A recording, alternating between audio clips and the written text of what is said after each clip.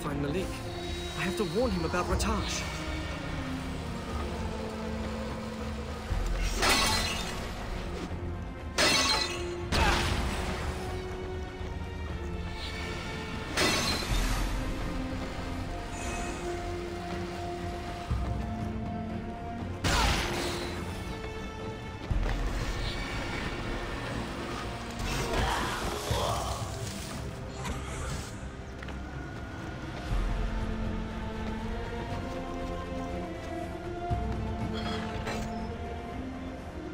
These gardens are one of the wonders of Persia.